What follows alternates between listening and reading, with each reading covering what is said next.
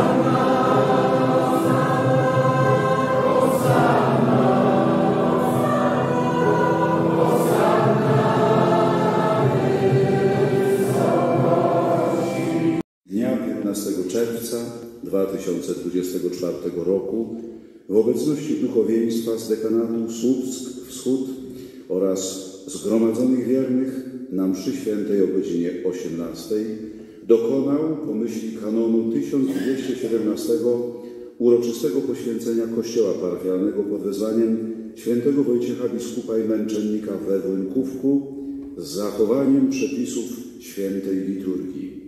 Zgodnie z kanonem 1219 Kodeksu Prawa Kanonicznego, w tymże kościele uroczyście poświęconym mogą być sprawowane wszystkie czynności kultu Bożego z zachowaniem uprawnień parafialnych.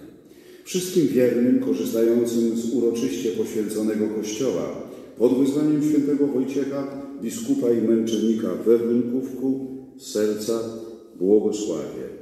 Dan w Koszalinie w sobotę 10 tygodnia zwykłego, dnia 15 czerwca roku pańskiego 2024.